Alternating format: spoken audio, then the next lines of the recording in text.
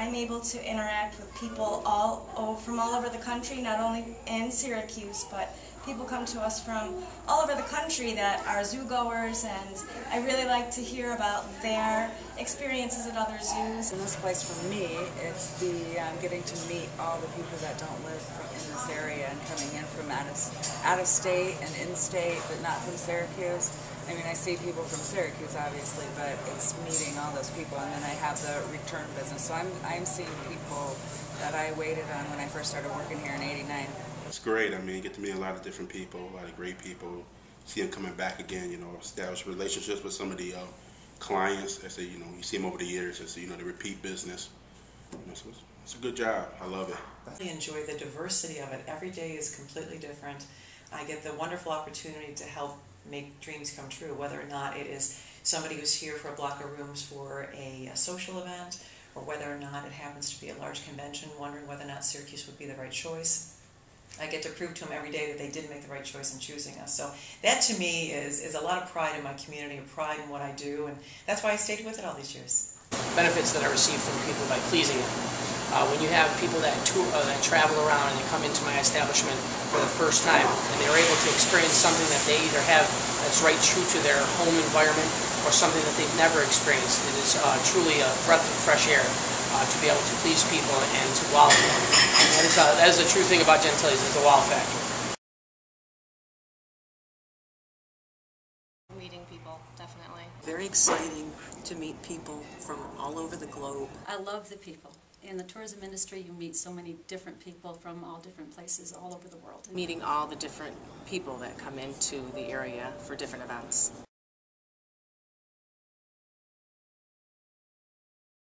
What I like about the area is everything that it has to offer. It, it has the culture, it has the arts, it has sports, it has everything that makes us a well-rounded community. Things that you would typically think that you'd have to only see in a larger city, we offer it here.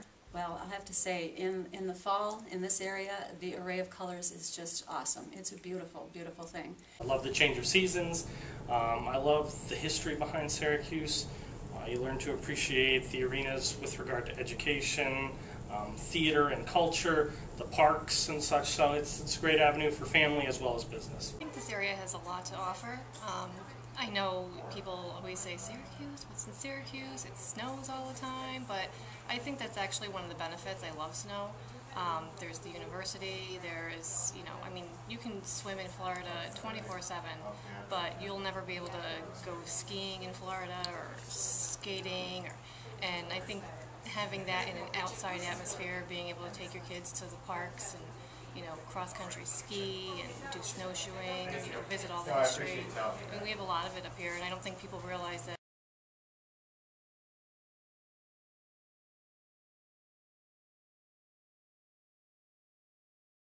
Ten years ago, we had a couple come into our hotel that was on their way to, uh, you know, their winter trip to Florida, and the gentleman had a heart attack uh, just prior to going and they ended up spending that month uh, in our hotel and really becoming part of our family.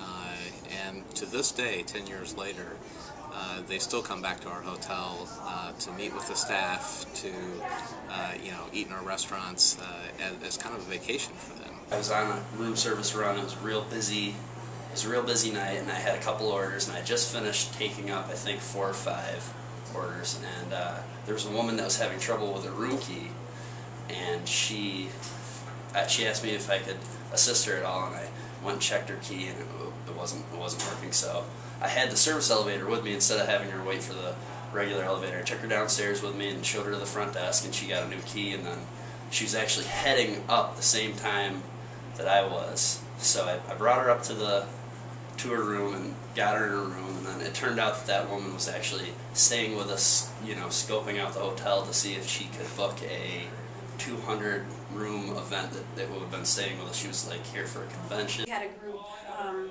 just this past year that we actually rolled a Harley Davidson motorcycle and parked it in the lobby because their um, their whole theme was Harley Davidsons and motorcycles. And so when they walked in and saw that in our lobby, they were just blown away. We have a gentleman from Canada who has celebrated his birthday by riding the carousel every year since Carousel Center opened, which was in 1990. This year, or actually in 2009, he celebrated his 90th birthday by riding the carousel along with a large contingency from Ottawa, Canada of his family. But not only did Carousel Center benefit, the whole area benefited because they came in for a full weekend, they enjoyed the restaurants, our other attractions, and just had a ball. We had a very important uh, site visit, and the Convention Visitors Bureau actually hosted it, and they were bringing the, the visitors around to book a future convention. And we, the Renaissance was the final stop before these folks had to go back uh, home, and they were on a tight schedule. Um, they were finishing up about lunchtime, so uh, uh, with the help of my team, we, we ended up uh, preparing a couple of uh, to-go lunches and uh, gave them to these folks. And I, I later found out that those, uh, for whatever reason, that, that, that little touch uh, uh, worked worked miracles in terms of payback of, of the, the simple touch here in Syracuse to, to get those folks to end up. Uh, I don't think it was the sandwiches, but they ended up uh, booking here in Syracuse for their event. We had put on Dickens Christmas in Skaneateles, which is a um, month-long event on the weekends from Thanksgiving to Christmas. And uh, this has happened more than once, but I can remember this young man calling us, and he wanted to propose to his girlfriend on um, the carriage ride that we provide um, as a free part of the Dickens Christmas event. And so we arranged for that to happen, and um, he was just like the happiest guy, and she was the happiest girl around. It was just, and I can't tell you, uh, we've sort of become the engagement capital of central New York, it seems like. You'll see people all the time in the gazebo down on one knee proposing to people. So it's just a lot of fun. And then the nice part is lots of time they will come back to Skaneateles and um, host their uh, wedding in town.